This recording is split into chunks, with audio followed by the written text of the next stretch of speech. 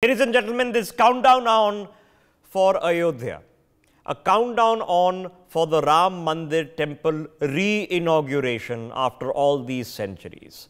The re-emergence of a physical spot in a holy city which is of the three holy sites of the Hindu faith. Now for all these months, you've been seeing visuals of the Ram Mandir, of where it's reached, of the construction. Now we are here to have and start a conversation of the entire city of Ayodhya and of the entire region, of the entire district and beyond, because something of such scale is about to happen that I do not think we are comprehending. Here is a reality check, ladies and gentlemen. 5 million people every year visit the Vatican in Rome. Between 5 and 9 million people a year travel to Ma Devi. Between 3 and 5 million people every year travel to Mecca for the Hajj. What is going to be needed in Ayodhya? Not just the temple site. You are going to need highways and hotels and eateries and upgraded airports and flights and interstate bus terminals. You're going to require the facility to make Ayodhya into one of the biggest travel destinations in the world with the Ram temple of course being at the center point but not of course the only point. All that infrastructure now needs to be created. Now you're seeing a map of uh, uh, roughly a map of Ayodhya uh, on your screens where you can see and I'm pointing this out, I'm going to leave this on air, uh, where the airport which is being developed specific fit for purpose for this particular inauguration because we now need to be uh, uh, aware and available of how to travel there. as we speak, Indigo and other airlines have now announced special flights. The government is announcing special trains. More parking facilities are being built. So much so that the organizers of the 22nd event are now telling people that it is better you celebrate the 22nd in your temples, in your hometowns, because of the sheer scale of people who are expected to attend. Now, ladies and gentlemen, I don't know how many people are going to show up on the 22nd. I don't know uh, how many people are going to show up on the 23rd. Okay. But I do know that when the Kumbh Melas are organized in this country, when a Kumbh Mela is organized in this country and you understand that some Kumbh Melas are rare, uh, they happen once every 100 years, some happen once every 12 years. But when the rare Kumbh Mela is organized, this is happening for the first time in 500 years. Okay? The last time a Kumbh Mela was organized, 50 million people showed up. I can't explain to you the scale of that, which means all of Delhi and all of Tokyo and all of London packed their bags and traveled. Everyone. So, we are not registering the scale of what is happening and what will be required to happen other than just of course that the temple should be magnificent. On the broadcast with me is uh, Balarao Sankuratri, he is from the Ayodhya Research Institute, Department of Culture, Government of UP. Sadanand Pawar, who is a design expert, and Dr. Jayajit Bhattacharya stays on with me. Akash Jindal also stays on with me. Now, let me get this information from Balaji. Balaji, we don't know, sir, but what are you suspecting is actually going to happen? How many people are going to show up? Rishabh, this is a tough question. Before I go to that, uh, let me thank you for using the word re-inauguration of the Ram Janmabhoomi. That's a very good term. And coming to how many people are going to come, this is a very tough question. Uh, I'm seeing, I, I'm, I'm, I'm going to Ayodhya almost every six months like that. And last November I was there. So last November situation in Ayodhya is not just the temple area, right from Faizabad till Ayodhya, everything is under construction Existing hotels are getting renovated. All the roads are under construction. all the hotels are under construction, all the restaurants are under construction, and in the uh, near the temple complex, uh, all the shops uh, are getting renovated. Government itself is making a uniform uh, structure for all the shops in front of the temple. It is huge and massive, uh, and uh, too many calls we are getting for the temple. when can we go to the temple? All this stuff, and through you and to the world I just want to say that 22nd, 23rd is the inauguration, but for the general public, the temple will be open from 26th, not from 22nd. 22nd, 23rd is only the Prana Pratishtha uh, programs are happening, and for the general public, the temple is only from 26th. Uh, and uh, okay, uh, it's it's it's a good problem to have, but again, note that thought. General public 26th. Okay, now it's a good problem to have but I don't think we're registering the scale of the of a once in a 500 year event. I, I don't know how, but okay, so uh, for reference to context, ladies and gentlemen, the temple itself is being built at a cost of about, about 2000 crores. Okay. The entire infrastructure project just in the public sector are worth 60,000 crores. And I'm not talking about the, the person who's doing his own shop because that's private sector. You're talking about in the scope of the next few weeks, the culmination of potentially 1 lakh crores of rupees being pumped into the economy of the region. We are seeing something beginning that has historical significance for many reasons and I've discussed the historical significance of the temple itself. We've been discussing it for months. I wanted to register this for a second. Uh, Dr. Bhattacharya, sir, I mean, it's impossible to predict. I can only take away that when the when the when in the month of Ramadan about 3 million people come to Mecca okay uh, in the in the Kumbh Mela 50 million people come for that once in century event uh, to a particular venue for a few weeks uh, Vaishno Devi about 5 million people a year so you know how do we gauge what's going to happen next month so let me put another statistics for people to understand the magnitude of the event the total number of passengers being managed by the Indira Gandhi National Airport, uh, International Airport, which is the biggest in India, is about 63 million. So you see the total passengers that one one of the largest airports in India manages, and the key air, the international airport manages, is what descended on uh, in in um, uh, uh in in this festival in um, UP uh, in one single day, the 50 million figure that you're talking about. Yeah. Uh, so that entire um, you know traffic of one year came down in one single day, which means that there was pressures on local transportation, pressure on food, pressure on water, pressure on ensuring there is no disease outbreak, there is no cholera outbreak, and so on and so forth. And that uh, was pulled out in a uh, extremely smooth manner during the last Kumbh Mela that happened. Uh, clearly, uh, we expect a much larger number for Ayodhya given the you know weight that was there uh, from the population for a long time. So um, the challenges will be much more from a logistical perspective, from the pressures on the municipality. Where will these people stay? As you rightly said, it's uh, it's multiple cities coming together. So where will these people stay? Where are the hotels? Okay. Where are the you know, dharmshalas? Uh, it's a mind-boggling problem. But I'm pretty confident that the government of UP and the Indian government together will be able to pull this off. Okay. And I think there's some good advice that um, uh, people should be able to celebrate this sitting back, uh, you know, wherever they are. Okay. Rather than actually converting. So, okay, here's a reality check, uh, Jayjeet. The current Ayodhya airport, which is in, as mentioned in Faizabad, okay, uh, has the capacity to only land nine-seater aircraft. Okay, they're upgrading it and the upgradation, upgraded part is going to be inaugurated by the Prime Minister on the 30th of December. So, in a couple of weeks time. Uh, but even that airport is not going to be big enough. So, we're looking at, I mean, think about it. The people who up until one year ago or two years ago before the Supreme Court judgment had, you know, broken down shops or a small plot of land or a flat in Ayodhya, they are about to see a 1 lakh crore capital infusion into their area. I can't make you understand how much money 1 lakh crores is. Okay? It's, let's put this in perspective. Uh, the entire union exchequer's budget would be around that 25 30 lakh crore mark. Okay?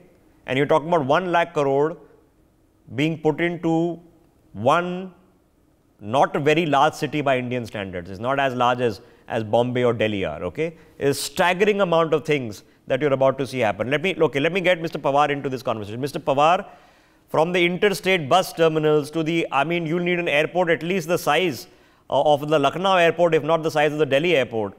You're going to require parking facilities. I mean, I remember we would, when, when we did the Commonwealth Games here, we were running short of hotel space. They came up with these bed and breakfast policies. एक हमें flyover बनाने में हालत ख़राब हो गई थी in, in Barapulla over here. Okay, you're looking at a different scale of operations and time is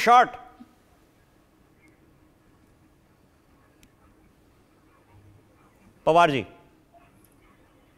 Hello. Yes, no, Pawarji. I, I lost you. Uh, yeah, Pawarji, you're looking at a huge scale of operations in terms of hotel rooms, eateries, parking places, buses, planes. Yeah, the time is short, sir. Are we, are we, are we going to be able to process the sheer? I know it's a good problem to have, but nonetheless, it's a problem. Yes, uh, I think we had a, a few conversations in the past also on the same parameters. Any change which is happening for uh, you know event like this, uh, there are the practical challenges. But as uh, Jajit said some time back, Kumbh Mela, I remember, which happened few years ago at Nasik, people were anticipating a huge crowd and huge mess, but uh, rather fortunately, nothing of that sort happened. But the kind of a statistics what we have as a consultancy arm within this corporation is that at the moment, infrastructure wise, you will be surprised to know that only we are targeting or we are having a, uh, rather the facility available which is not even 50% what is required. My worry is that 47% is the actual uh, consumption which we can have adaptation on those two particular days but over and above that the balance 50% crowd which we are going to be expecting uh, there is going to be a huge challenge. And that may uh, surpass the expectations in terms of the hygienes uh, or in terms of the travel management or in terms of logistics. You name anything and everything that is there. But i'm sure this government is trying to cover up that within such a short span of a time whatever they could and i'm sure in the last uh, you know 9 years of their operation they have done Okay, I, it's going to be the biggest exercise for the UP government ever. Okay. Uh, now, Indigo is, as I mentioned, started flights. Special tra- trains are being announced, but a large amount of people are going to come by road. Okay, uh, from all over the country. Uh, which means buses, which means cars, which means parking. Uh, all of these now need to be figured out, and they need to be figured out at the scale of the Kumbh. Now, the UP government officials have expertise in organizing the Kumbh. So, they, they, they know how to do these things. But all that expertise is going to be tested here because you don't know. You can tell people, but how are you going to stop them? It's a once in a 500 year event. Now, Im- imagine if Mecca was being inaugurated next month. It would be a global once in a millennium event. Okay? It's a huge, huge deal. Uh, look at this uh, Vatican, average 25,000 visitors per day. 25,000 is going to be pittance uh, compared to what's going to happen on the 20 on the 22nd through as and as we mentioned 26th when the when the doors open. Uh, you know Vaishno Devi, which uh, which we you know which you which you go to, you know you even though these are well you know Tirupati, there are long-standing operations you know with uh, decades of expertise in doing this. All of this will have to be all of this will have to be created from day one. You don't have decades to figure it out. Okay, कि धीरे धीरे बढ़ेगा. From day one, you'll have those numbers. It's going to be fascinating. Akash Jindal, but I'm going to talk about largely of the economy, not just the logistics of it. A lakh of crore rupees for sure is being injected into Ayodhya as we speak. The ancillary ripple effect, what is it going to be? If somebody had a small flat in Ayodhya, you can easily imagine that वो चार गुना चार गुना पांच गुना तो हो गया कम जनवरी to come to that. Now, now I have been tracking real estate in this country. My organization, AkashJindal.in. I was about to throw this question: Which is the city in India where real estate appreciation has been the fastest? According to my data, it's neither Delhi nor Mumbai nor Bengaluru. It's Ayodhya and around. Real estate has so much, and I'm so happy to hear all my colleagues and you discuss the problem that there will be so many people that I mean the term which is being used for problem that the but see the impact which is going to have on the economy. particularly the thing which has not been discussed till now, the forex which is going to get. Because the Indian diaspora, see, we are talking about Indians, but Indian diaspora globally is now very strong.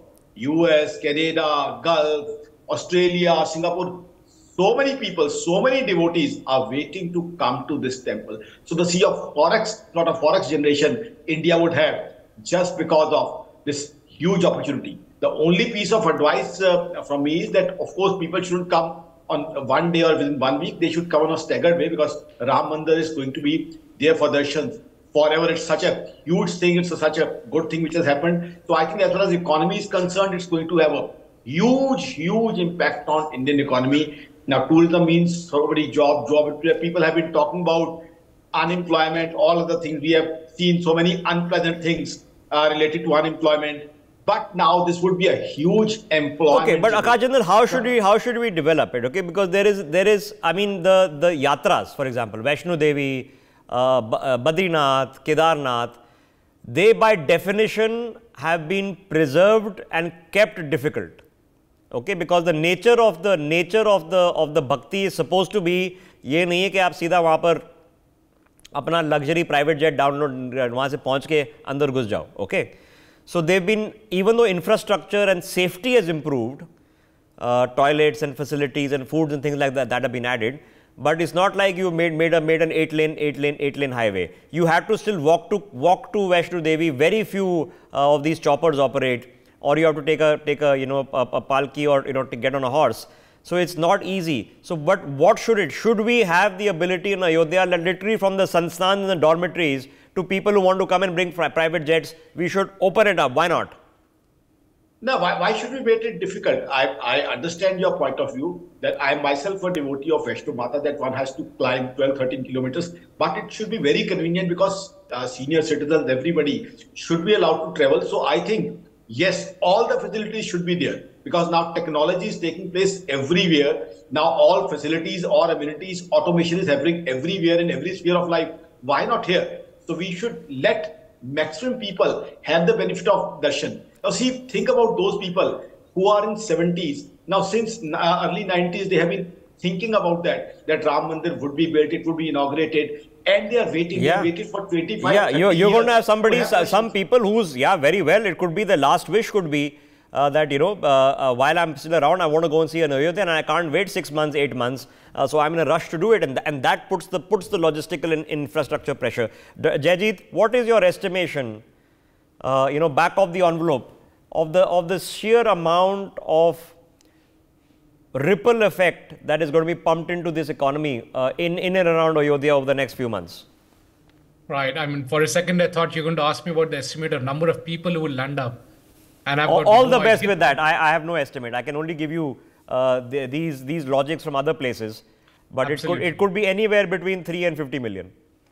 Absolutely, but in terms of the economic impact, it'll be very very significant, not just to UP, because what needs to be developed is not just the Ayodhya tourism infrastructure, but in the entire Ram circuit, which goes across Chhattisgarh, Madhya Pradesh, right down to Tamil Nadu and Kerala and so on. So it has to be, uh, you know, looked at as a Ram circuit uh, from a plain tourism uh, perspective, because people would like to start their journey uh, from Ayodhya and then go to the other key places that um, Sri Ram went to, as per uh, the legend.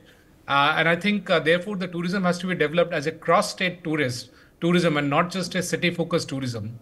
Um, also, uh, it lead to other kinds of, um, you know, tourism. For example, Ayodhya is also developing one of the largest mosques that's coming up, and what I understand, it's a architecturally a very beautiful uh, building that's being created. And that is also going to attract uh, a lot of tourism. So we see two sets of uh, you know tourists coming in. And we need to leverage that so that they just don't stay in ayodhya but they also go around. They also buy um, you know things which are related to tourism and expand on that aspect. And also with all the infrastructure coming up which is you know the hoteling industry the infrastructure the travel infrastructure there should be industries also coming up which could be related. I mean, I mean, yeah, just no, just even directly involved. I mean, think of about think about Ajmer Sharif. Okay, think about the temple towns and the guy who's selling mithai outside, the guy who's selling chaddars outside, the guy who's selling uh, you know flowers outside. Uh, the, the priests who are there to perform, the tour guides who are required over there. You're talking about, a, you know, literally recreation of a major religious site of the world, I frankly don't think any of us are fathoming what this will be. This will, this will be unrecognizable in five, five to six years. So let me get Balaji back into this conversation. Uh, uh, Balaji, now for people who are residents of Ayodhya, who are who have been living there all these all these years, what are you what are you seeing happening? You say you travel there often. What are you seeing happening for them? I have a friend there who lives very close to the temple, and now he he's trying to shift his house to Lucknow, and having that uh, his existing house only as the guest house or something like that.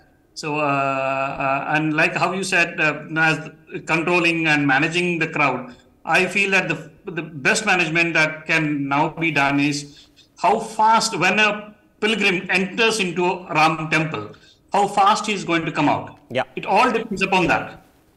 If the person is entering into the Ram temple complex and if he's taking hours together to come out, then the stagnation is going to be and everything is going to pile up. If, if the person is able to come out faster, then there are other avenues that people can plan landing in Lucknow or uh, Prayagraj or uh, Ayodhya itself. They can have a day tour instead of uh, spending uh, finding a hotel or As yeah so the, so just like Vaishno Devi the darshan needs to be quick. You can come and then you can hang out in the complex and yes. go to the hills and the parks and you know and the and the lake that is being created but the darshan needs to be super quick yes okay yeah and you know and then of course then you'll have you'll. i mean imagine next diwali in ayodhya okay that's yes. going to be another another another huge deal very frankly speaking last diwali for last diwali for the guinness book of world record what happened there for that itself, it's a huge traffic jam. Almost for four, five kilometers, there were no vehicles moving. Yeah. People have to park the vehicles around four kilometers away and then walk down. Yeah, we are, we are, we are talking again, we're talking about scale, scale of things. Uh, uh, let me get Mr. Pawar back in. Mr. Pawar, for the local economy, for people who are native residents of Ayodhya, okay, who've been seeing this dispute going on for years and years and years and years, chali ja raha, chali ja raha, chali ja raha, and suddenly it's over. Suddenly the temple is being built, new highways, new uh, uh, uh, hotels, new airports. It, how much of a life changer is this going to be? Oh, it is unimaginable. The reason is, as Bala said some time back, few of my connects who were in Ayodhya, they have already shifted. They have got the renovation done to their houses. So there would be a huge, uh, you know, shift. But at the same time, we as a Swa Corporation, we are planning to look out for a 50 key hotel over the last two years. You will not believe, Rishabh, we have not got a single one. Even if it is less than 20, 30, we are seriously trying to achieve that goal for our hospitality sector. We are not getting it. So getting back uh, infrastructure which is required that would take a developmental time of around minimum two to three years while it settles down. But i'm sure the kind of developments or kind of a control which up government is having in the next 36 days precisely from today they will make the some changes they will make the wonders. If china can build uh, you know six kilometers uh, uh, rather bridge over the sea or over the river within one and a half months. So I'm sure we can also do that. Okay. It is a challenge, but this we, government... We, we, we become better at it. I mean, the Indian Absolutely. Parliament built less than two years. Okay. Bharat yes. Mandapam just over three years. Uh, exactly. The temple itself, remember, is being built in what? Three years. Okay. Absolutely. Less, less than that. So, but the reason I'm having this telecast is so that there is a public imagination. Number one, be aware of the scale of the event when you're making travel preparation. Don't think कि भी I'll call up my वहाँ पर सुबह निकल जाएंगे 20 तारीख को और देख लेंगे वहाँ पहुँच के okay so be aware that it's going to be one of the biggest events probably in the history of human civilization that we know of okay so be aware if you are an entrepreneur be aware of the scale of the economic opportunity that is developing over here across the board. Okay? And if you are an engineer, a designer, a civic planner, okay, and if you are related to government, you have to think not just about the temple now. The temple is being built, आ गया, तैयार हो गया, ठीक है, 30 दिन रह गए. You now need to think about making ease of living for all the people who want to visit it at the highest possible pace. Gati Shakti is required at an unimaginable scale. Let's become believers that we can not only build the temple but completely change the face of Ayodhya in the next 30 days. Who knows? We might get close. But if we don't try, it'll never happen. My thanks to my guests. For more such videos, subscribe to the NewsX YouTube channel, hit the bell icon.